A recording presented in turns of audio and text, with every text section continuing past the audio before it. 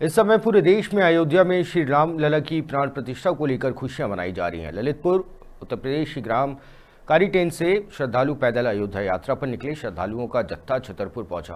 ग्राम किरीटो तोरण निवासी श्रद्धालु बताते हैं कि वे आठ जनवरी को अपने गाँव से करीब 600 किलोमीटर अयोध्या के लिए पैदल निकले हैं। दस सदस्यों की टीम दिन भर रामधुन के साथ पदयात्रा करते हुए और रात में किसी मंदिर या अन्य जगह विश्राम करते हैं। उन्होंने बताया कि वे इलाहाबाद होते हुए अयोध्या जाएँगे और 22 जनवरी को श्री राम लला की प्राण प्रतिष्ठा कार्यक्रम में शामिल होंगे।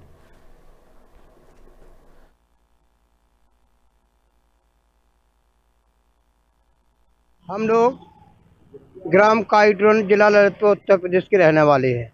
हम लोग हम लोग पद यात्रा पर जा रहे हैं अयोध्या भूमि के लिए। और बड़ी खुशी की बात है कि वर्षों वर्षों से मंदिर का निर्माण हुआ है और प्राण प्रतिष्ठा के उपलक्ष्य में हम लोग को बड़ी खुशी हुई है। इसलिए हम लोग बड़े उत्साह से बड़े मैंने मिलजुल के हम लोग अयोध्या की यात्रा करने के लिए जा रहे हैं। बोलो श्री राम जय राम जय जय